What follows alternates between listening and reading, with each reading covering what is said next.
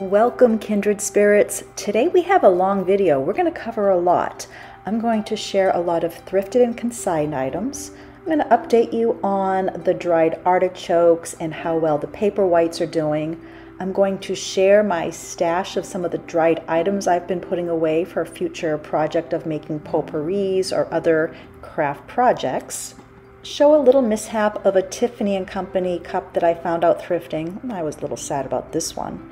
And we're going to make a recipe of orzo. I am creating it as I go and you'll see the steps that I take to create a recipe. I will put a timestamp below for those of you who want to skip around. I hope you enjoy.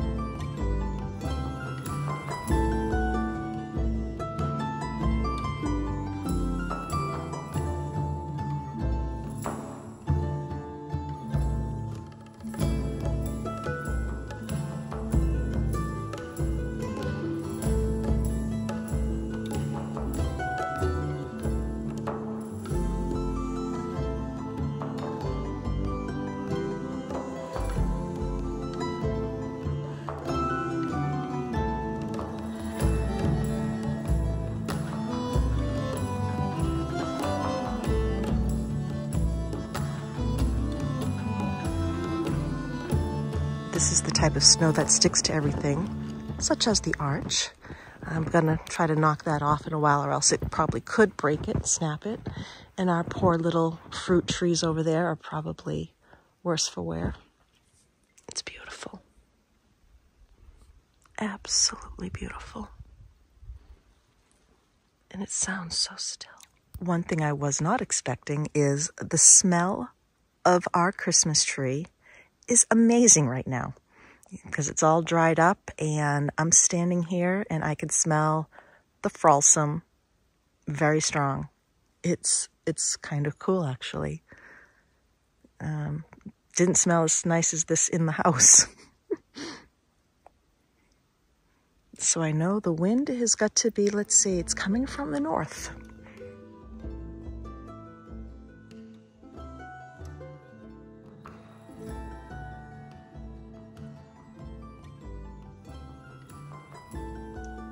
Willow just went out of view, but it's one good thing about the orange coat. Oh, there she is.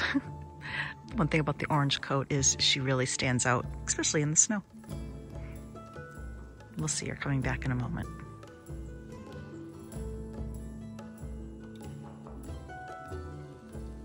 Then we'll make a path for her later, but right now I'm kind of scuffling my feet to give her a path to run back in little cardio for myself, that's for sure. Oh, here comes a pop of orange. She's having trouble running. Oh boy. Oh boy.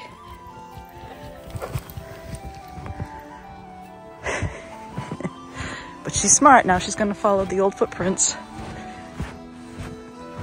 You took the hard way here across country.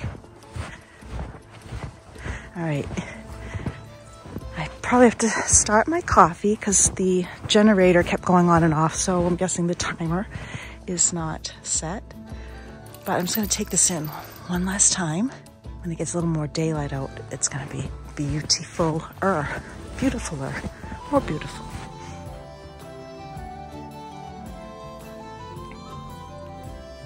The birds are starting to wake up.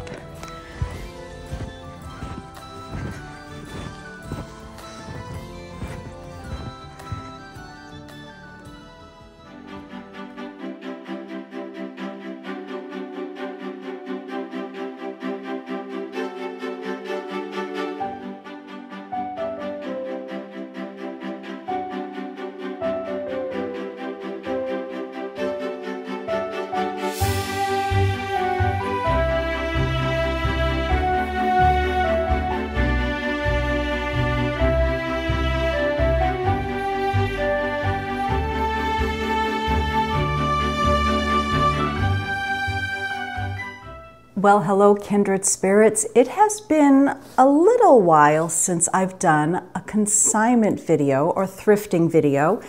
And I have been shopping all along for the house, but I've been kind of putting things away and I just, I haven't been sharing. And I figured today would be the day that I share some of the items.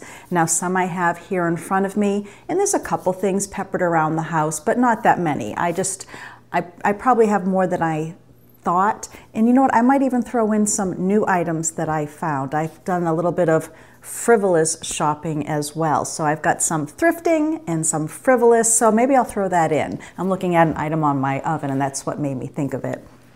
But I'm going to jump right in because I have some things sitting here.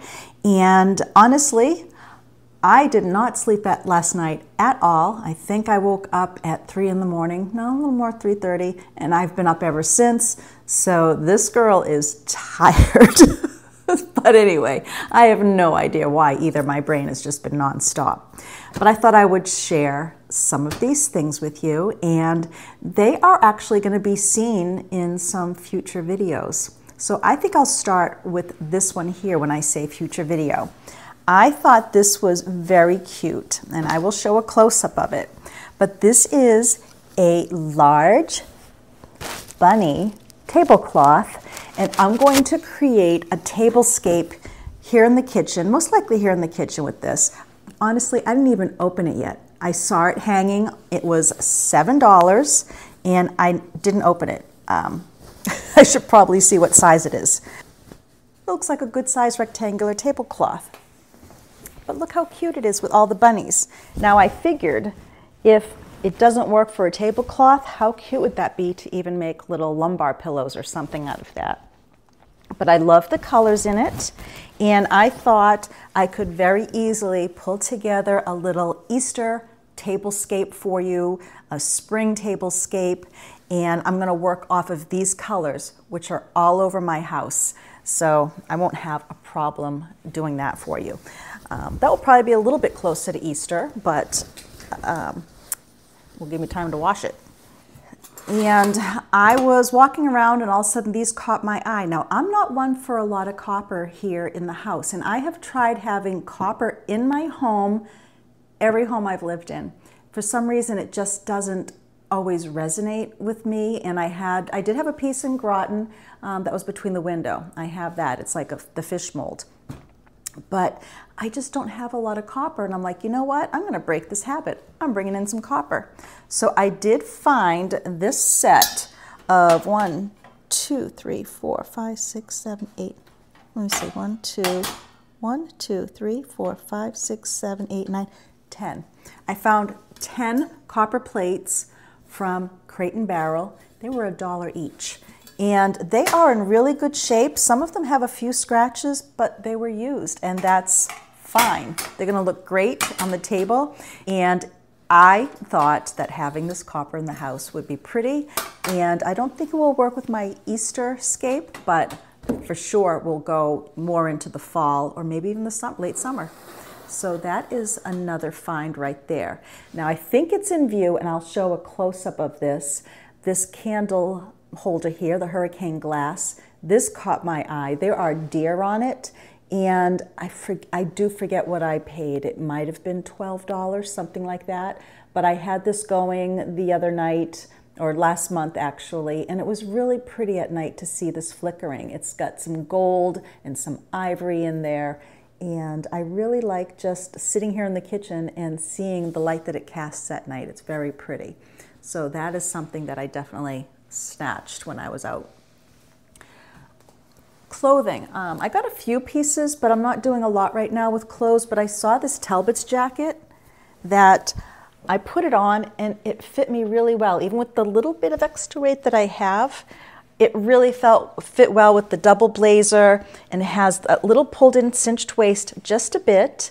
Now, I only noticed this once I got home. It's really hard to see. It almost looks like there's a little wear mark where the seat belt was, but I really, really, really have to stare at it. But I thought, you know, that would be kind of nice going into the fall, if, or even now going out to dinner.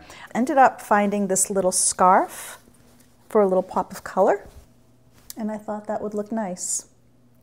So I'm going to take that to the dry cleaner and let them take care of that.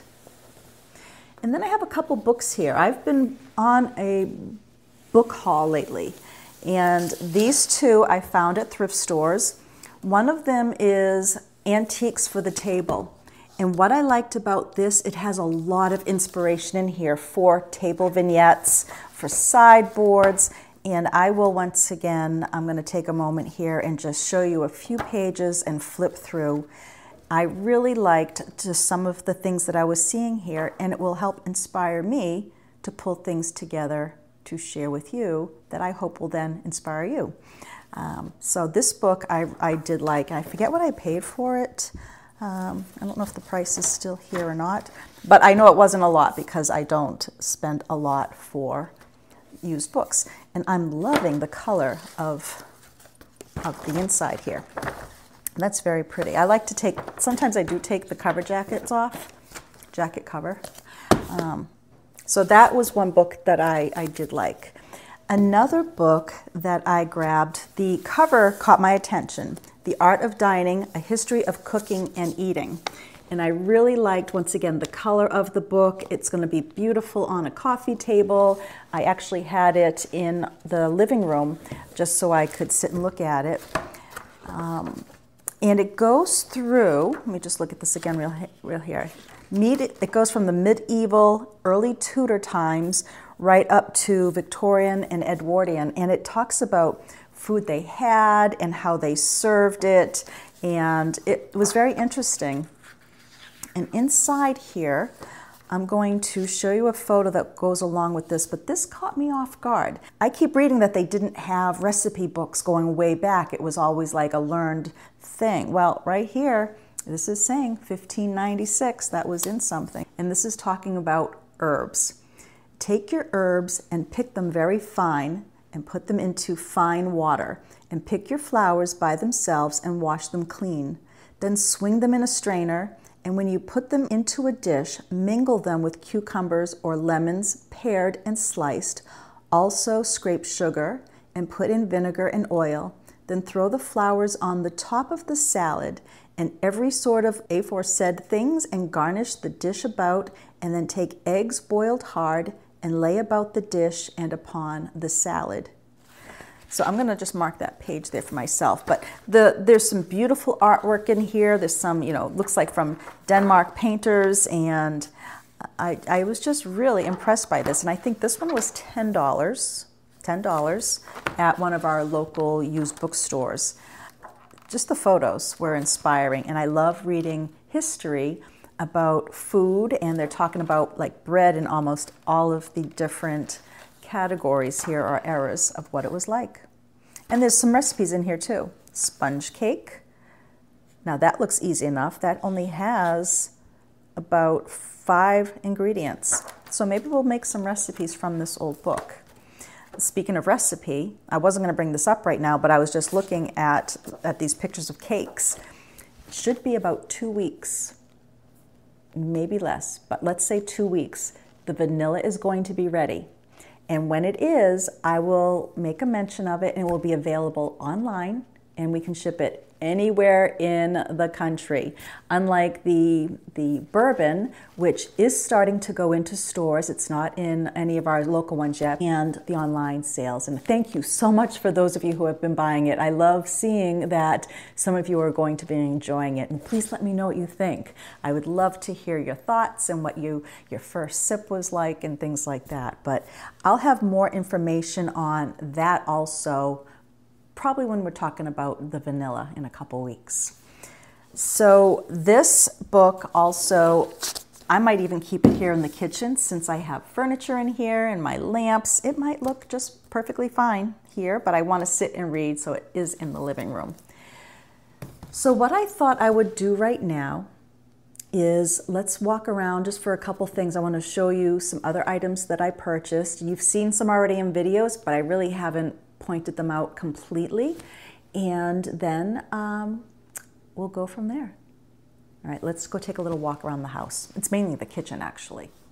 Now, I thought I would share this because I'm sitting here in the kitchen and I was looking over. I was going to do a video of a lot of my Amazon purchases that were frivolous, but I think I'll share this one right now. And then I even mention my pots and pans, I believe, a little bit later when I'm going to do a quick recipe with you. But I broke down and got myself a Le Creuset, Le Creuset, however we say that properly, please help me out here, um, teapot. And it had so many different colors, but I liked this gray enamel. I already forget what they call this particular one, but I will link it um, on my Amazon store, and I'll try to remember to link it below as well. And they, like I said, they had a lot of colors.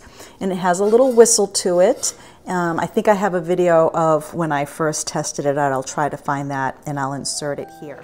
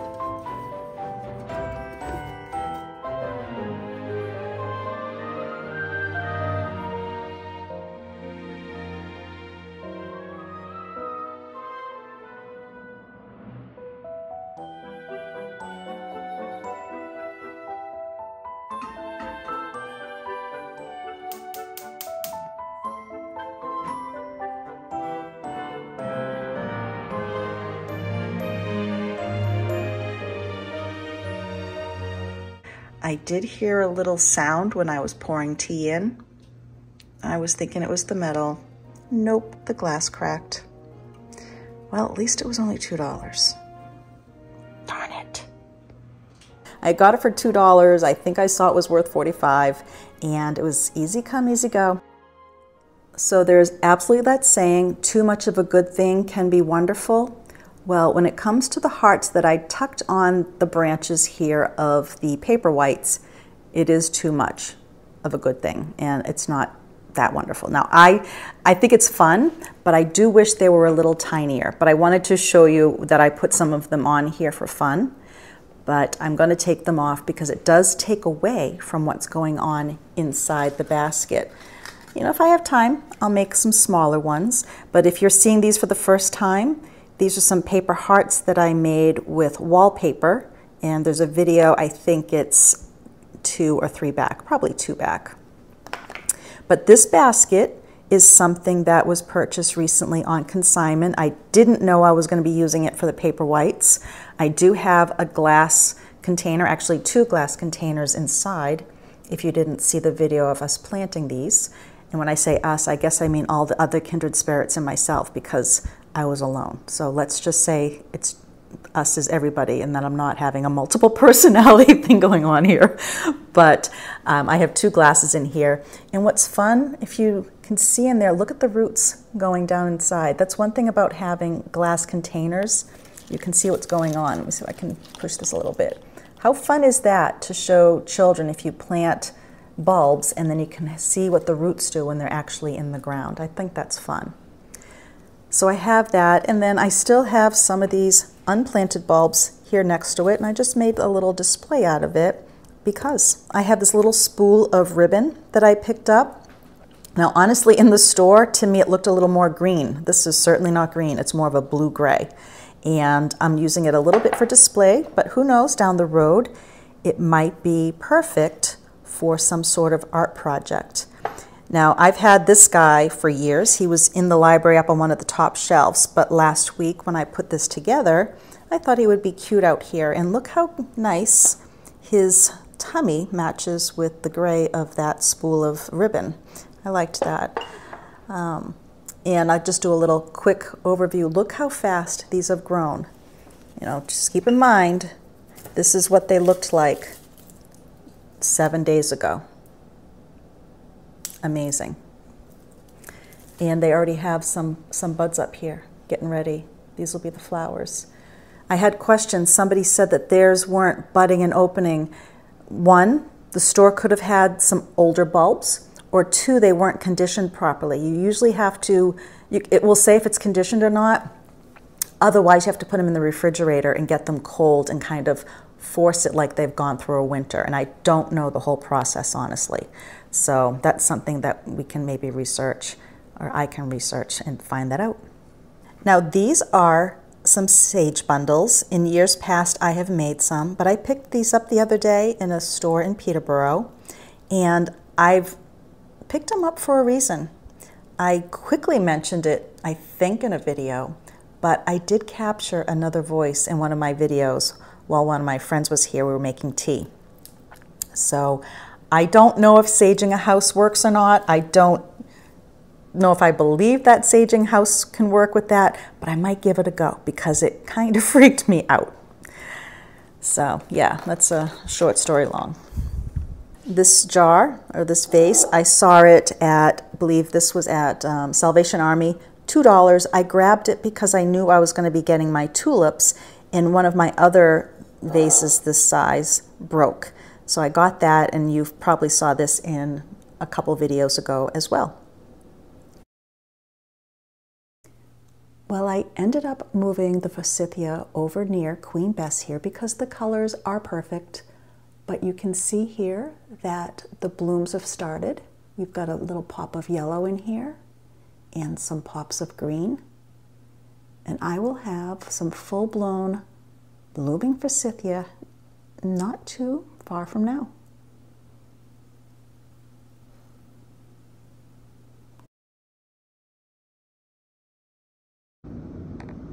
Now, this might look weird to some, but for me, this is a normal day in the Davis household once flowers go by. I like to save the petals.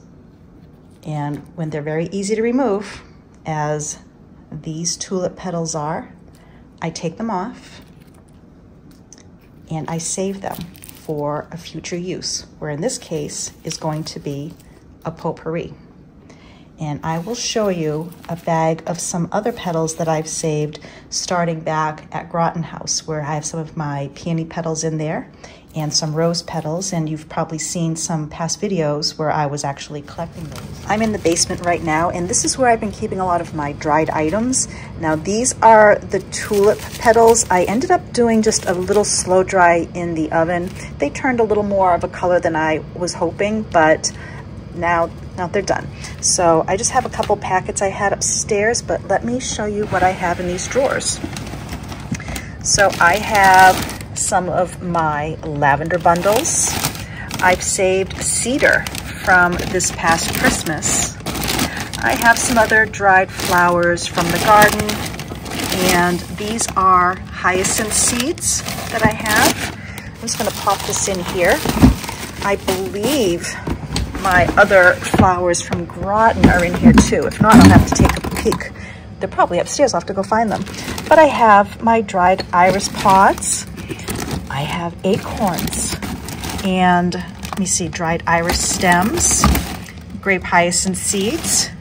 And then I also have a lot of black-eyed Susan seeds here. And let's see, iris seeds. These are from yellow and purple mixed and let's see, lavender leaves.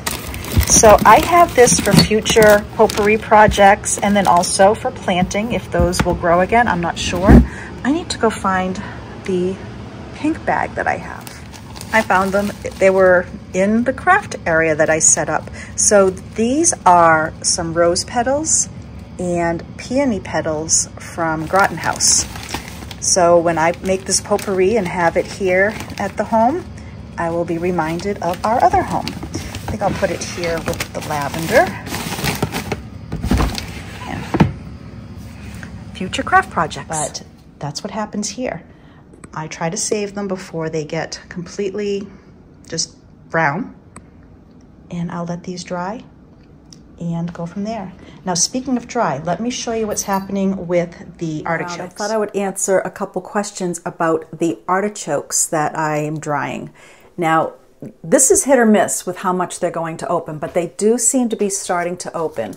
So what I like to do is first I cut the stems so that it's not full of moisture that's going to keep replenishing the artichoke.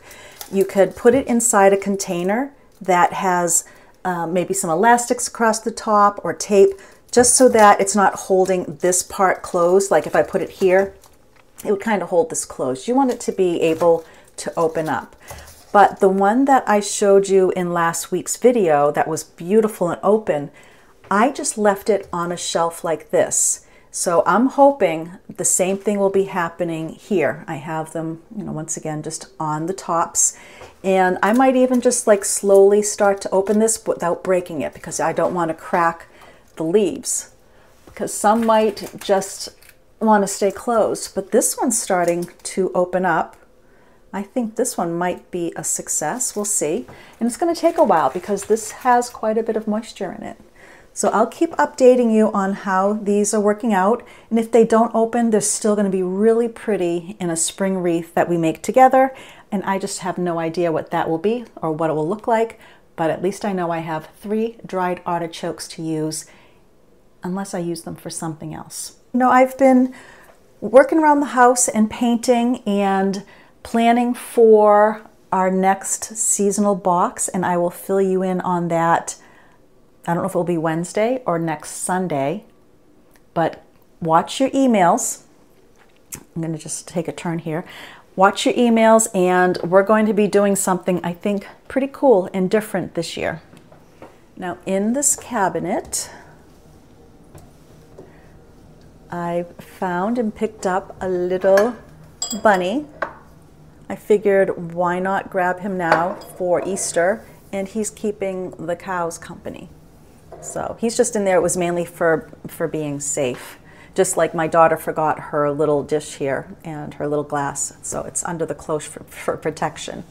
Up here, I found yet another ironstone casserole dish. This has been up here for a few weeks. You've probably, may, not probably, but you may have seen in videos. But I love the top, and I can't tell if it's a tulip or if it's a bud for like a pumpkin or something because it actually has a curly Q top. Let me grab it and bring it down to show you the top. Okay, now I guess if I research this, I will find out what it is. But like I said, I thought this was a tulip when I saw this and the longer leaves. But it has a, a, a tendril here, a little curly Q tendril. And then I'm like, well, maybe it's the flower for cucumbers or flowers for a pumpkin or something like that. If you know, please let me know. But it is in beautiful condition. And let's see here.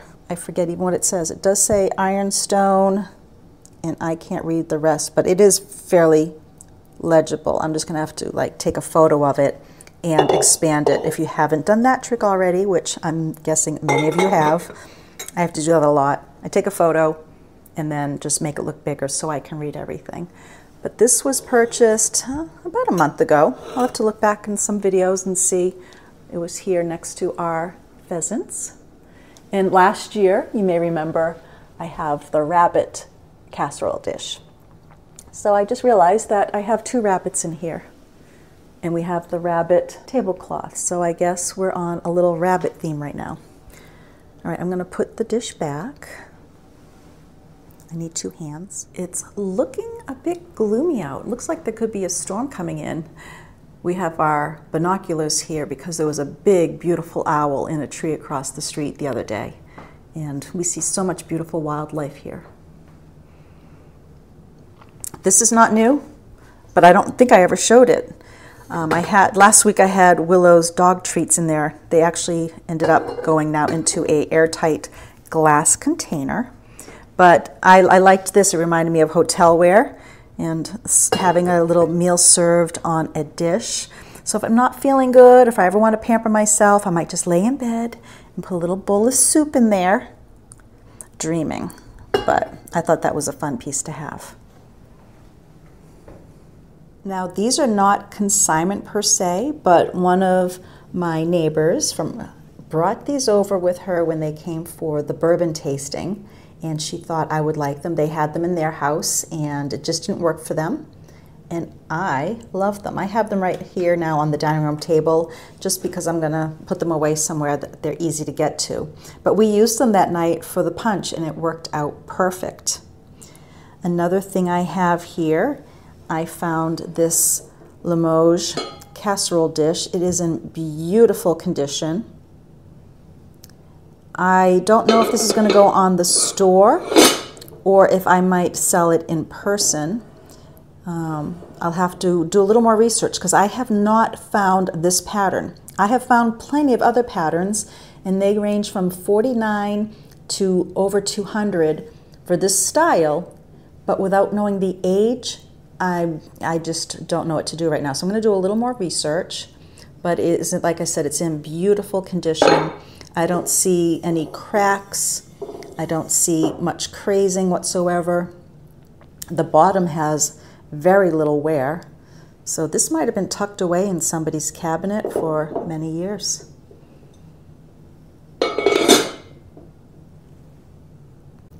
While I'm in the dining room, I have had these for a while.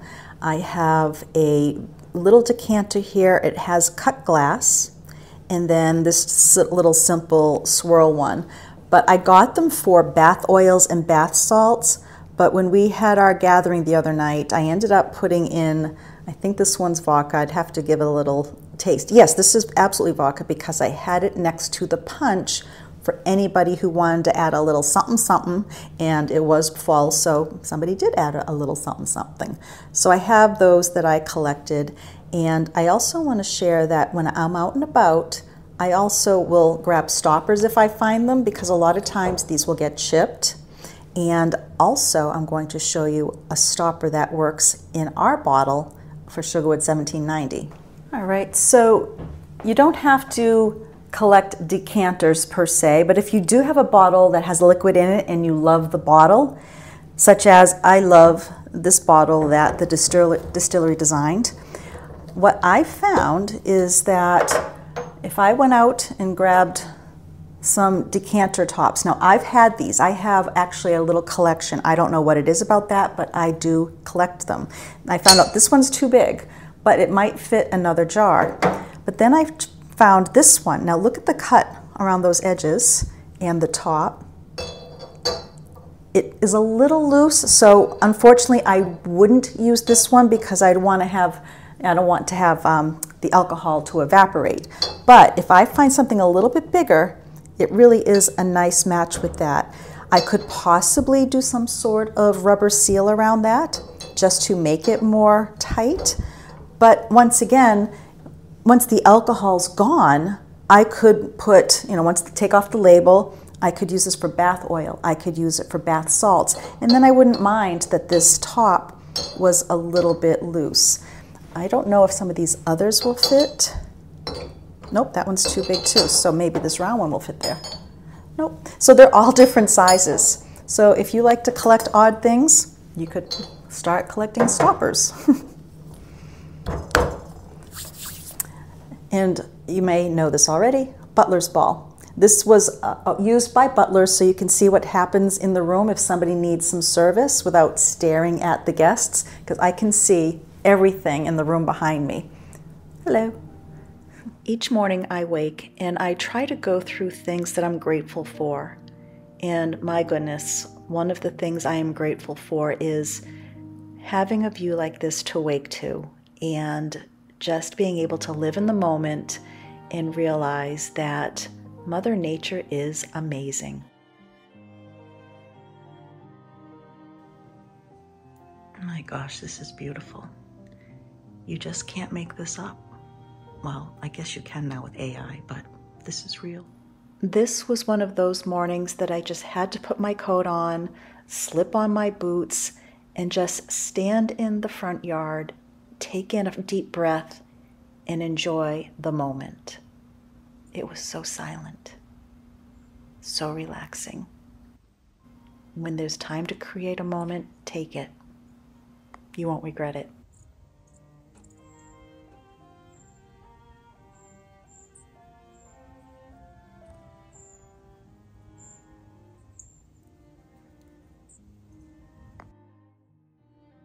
Well, I had a craving for risotto, and I'm thinking, I've never made risotto. But then when I was going through some of my old photos, I realized, oh yes, I have certainly made risotto. But I didn't have any in the house. I had orzo. So I decided to create a recipe just going with the flow and winging it with what I would have done with the risotto. And really the only difference is I had to use a lot more liquid and I put my own ingredients in. So I'm going to share with you how I did this. I'm going to speed it up because I, like I said, I was winging it and trying to figure out how much liquid and how many spices I wanted to put in. But I did write everything down. Well, I had a craving for risotto tonight, but I only had orzo. I'm going to make a orzo with mushrooms and just go for it. So I'm going to do is heat my pan a little bit here and I've had quite a few ask about my pans. These are Caraway. Now I got these on Amazon last year and I've been waiting to share a lot about them because I wanted to test them out and I do love them. The only thing is, is that when I'm trying to brown something like my scallops, I would definitely go more towards my iron pan. Um, but these are fantastic. Easy to keep clean. They don't things don't burn. You use lower heat, so I'd go almost on, you know, below medium for sure on these. I'm just going to put about a tablespoon of butter in each pan. I'm going to start this one up too. Let's see. This one I'm going to do my mushrooms in it just to saute them. So I'm going to put, like I said, about a tablespoon of butter, about a tablespoon of oil, eh, about that. And I have about four or five shallots here that I diced. And I'm going to just stir these up till they get almost translucent.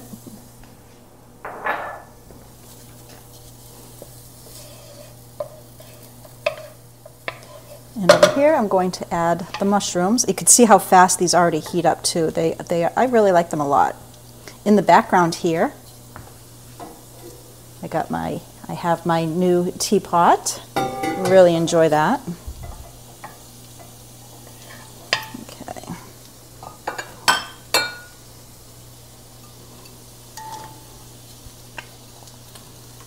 Oops. I'm just trying to get them a little pre-cooked, a little translucent here. I'm going to turn my heat down, and this is already on medium-low, so this is what I was talking about. These heat up really fast and really well. Two cups of orzo.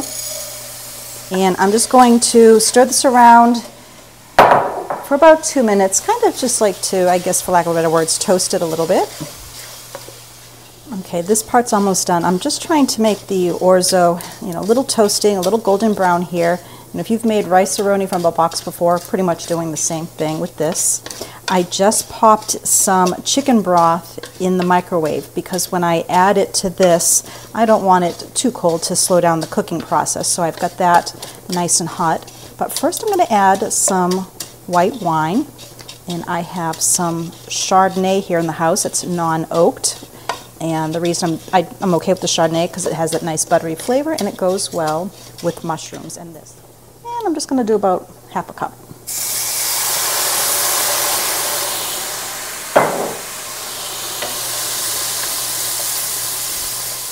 I'm going to add a little bit of this right now until it soaks up.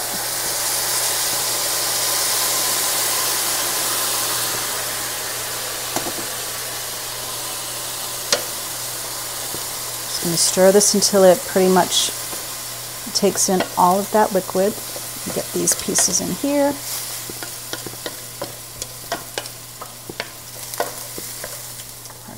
Mushrooms are getting nice and soft. Okay, I'm going to add a little bit more.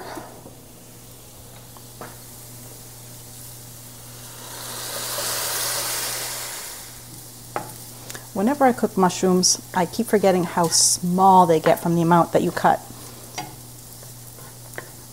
doing this by eye and probably could have cut more. I could have had it on the burner next to me, but I didn't want to mess up another pan. I already have all those other little dishes that I do for prep work. In a moment, I'm going to add the mushrooms, cover this up, and then wait till the orzo gets nice and tender. And then I'm going to add a little bit of Parmesan cheese, and I could probably add some herbs right now. I might do that.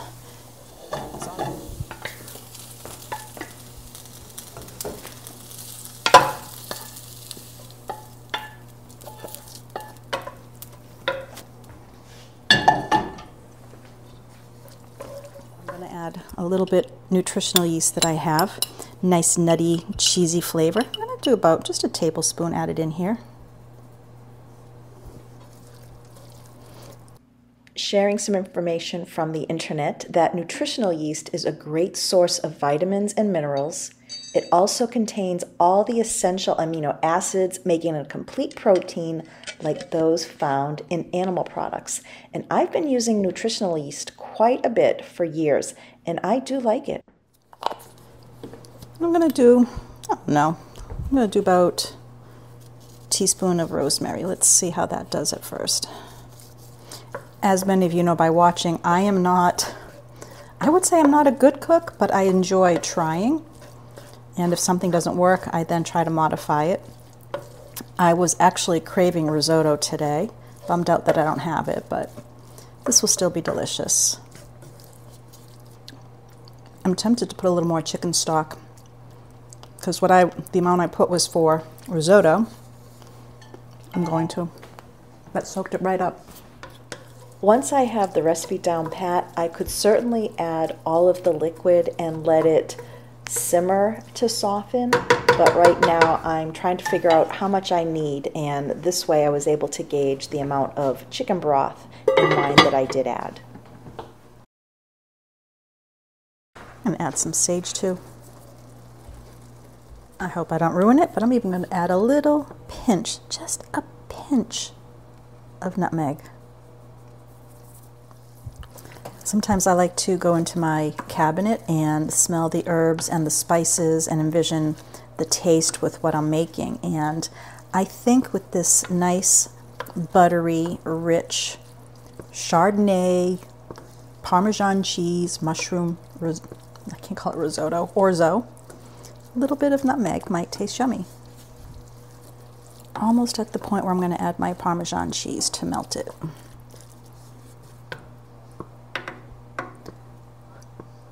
Mm, I put a, that's yummy. I put a little extra thyme in there. I can taste the rosemary. Delicious. I did not add salt yet. I'm going to do that to taste.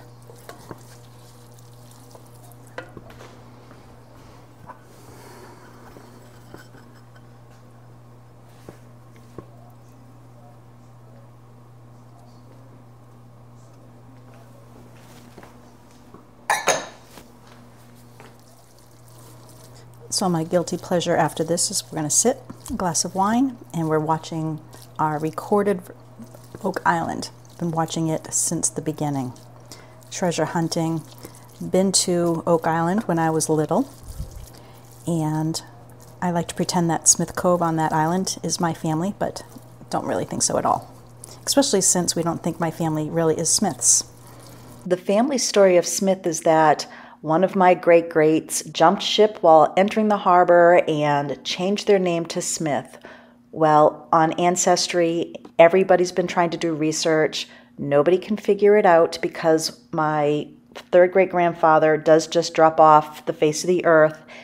I finally found a cousin who is taking a test for us. I'm paying for a test. Hopefully, it will answer the real surname of our family line. And if it comes back, with an answer, we will be answering the Smith question for thousands and thousands of other Smiths that are in Nova Scotia. I just sprinkled on a little more nutritional yeast because I do like that nutty, almost cheddar cheese flavor.